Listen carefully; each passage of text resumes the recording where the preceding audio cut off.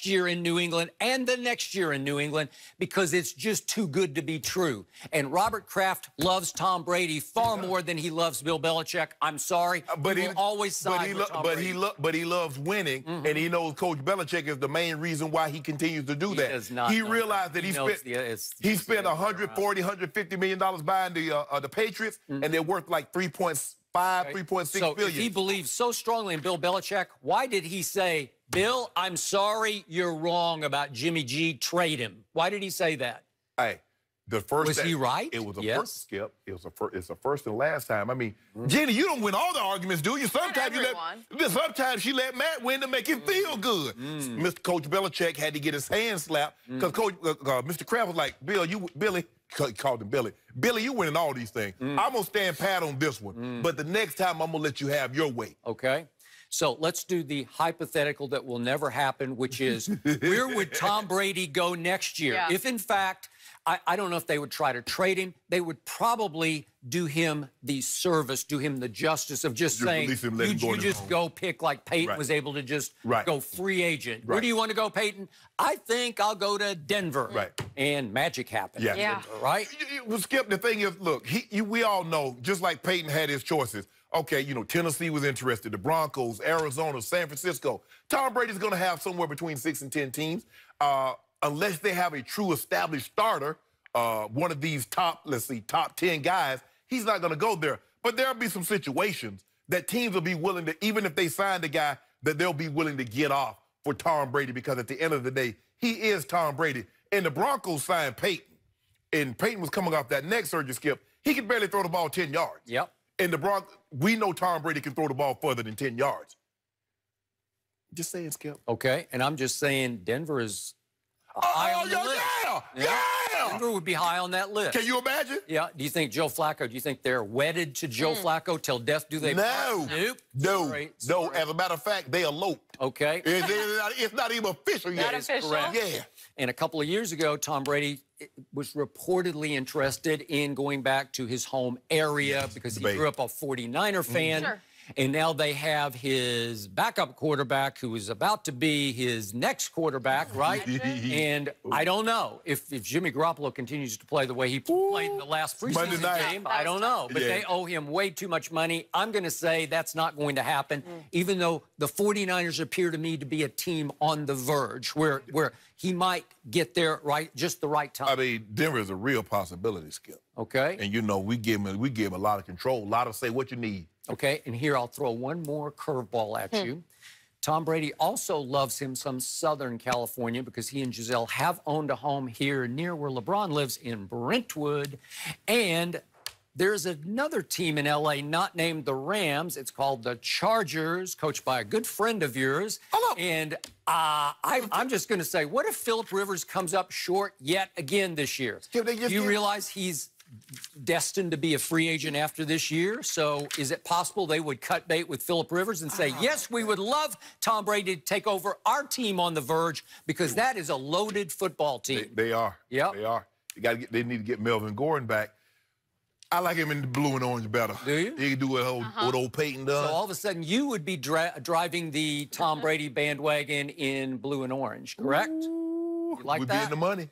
So here's where I'm with you. I believe Bill Belichick would love for this to be Tom Brady's last year, and I am already suspicious of the way Tom uh, that Bill Belichick is handling Tom Brady's preseason snaps, and I can't wait for tonight to see exactly. If and how long Tom Brady plays, because I told you a year ago in game two, he played 39 snaps and threw 26 passes. That was game two of the preseason. Right. This game two, suddenly, shockingly, he played zero. Right. Why was that? He wanted to play, but Coach Belichick said no. No. So now we get to the quote unquote dress rehearsal game three. And will he be allowed to play? Or is it possible that Belichick will some mysteriously say, some way say, Okay. I No. don't know, I don't want to play him this year? Skip, it might be a situation. Jenny, you can attest to this. Hmm. Have you ever been in a situation, Jenny? You're like, you okay? You kind of like it, but you like. I kind of wish he'd break up with me, but you don't want to be the bad guy. Uh-huh. It's like that with Coach. I believe with Coach Belichick. Like he Coach, sabotaged the situation. Coach Belichick wants to move on, Right. but he really would wish Tom would just break up. and Say, you know what, guys, I just want to. Thing. So it, it Would- keeps would him from Coach being the bad guy. love to feature Jarrett Stidham in the dress rehearsal game three? Yes, Might. he would, just so he could make the case to Mr. Kraft. Do you see what I found Right. again? Yeah. I got my new Jimmy G. And because Right. I think the thing is what Coach Belichick looks at, Skip, because the backup quarterback takes all the scout team's reps. And a lot of times, Coach Belichick might throw a little Coach Belichick might throw a little wrinkle in there. He says, like, look, this guy sees my sees some of my, especially in training camp, sees my defenses all the time. Yep. And I'm the great defensive mind in, in NFL right mm-hmm. now and maybe ever. Yep. If he can handle what I can throw at him, Yep. I know if I put him in this system and I'm and I need him to play and play well mm-hmm. after what I've thrown at him, there's no question in my mind he can stand up to the pressure. Mm-hmm. See, Coach Belichick, he, look, coach, they're always coaching, they're always observing, and mm-hmm. they know Coach Belichick really knows who can do what, when, and how. So I think a lot of that's that's at play here. Skip, there is something because Jimmy Garoppolo was not playing in a lot of games. There's something that led Coach Belichick to believe that he could move on from Tom Brady and would not miss a beat with Jimmy Garoppolo, considering that Jimmy had never gotten in the game. And that's not by accident, because Tom Brady does not, quarterbacks, good quarterbacks, they don't want you ever looking at another quarterback in a game situation and get, have you getting any bright ideas that you can move on without me. That is correct. I'm going to say it one more time about Jarrett Stidham. I watched a lot of him at Baylor first and then uh, much more at Auburn.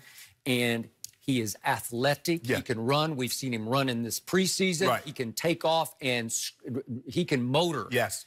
Got a nice arm, got nice stature about him, but under fire at Auburn in some of their biggest games, his poise under fire left something to be desired. Mm. That's just me. Well, Skip, you know Baylor, you know they throw the ball around. So he had a lot of experience He throwing the ball around in, in Baylor at He's open a set. Texas kid. Yes. Yep. And okay. most tech they they throw the ball now. Does he have potential? Yes. Could I see Belichick falling in love, being enamored of him? I can. Tom Brady, in his weekly WEEI appearance, was asked the other day, Do you want to play in preseason game number three? And he said, Boy, I hope I play.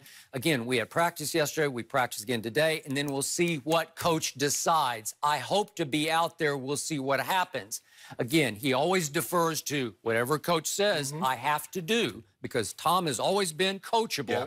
But to me, we will see. I can't wait for kickoff tonight to see how long Tom lasts, if he gets to play at all. And if he doesn't get to play, you're going to hear sabotage from me. Well, that was the thing, Skip, because it's Coach Belichick normally does what someone he does the opposite. Yep. So if Tom said, "Well, you know, I don't really care. You know, I've been done, yada yada," he's gonna play him. So Tom, Tom is like, you know, hey, it's I'm gonna leave it up to him, hoping Coach Belichick's like, ah, Tom wants to sit down. He's gonna play.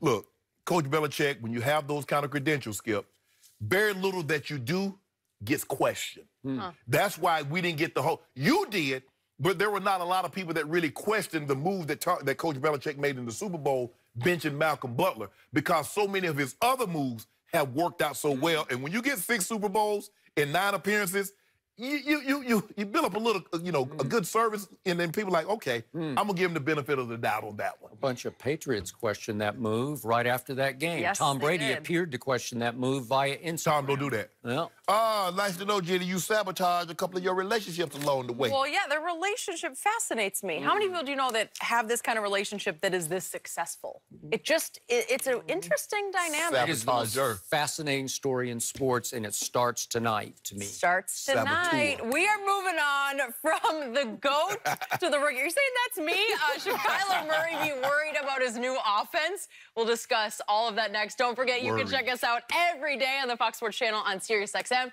We'll be right back. Very.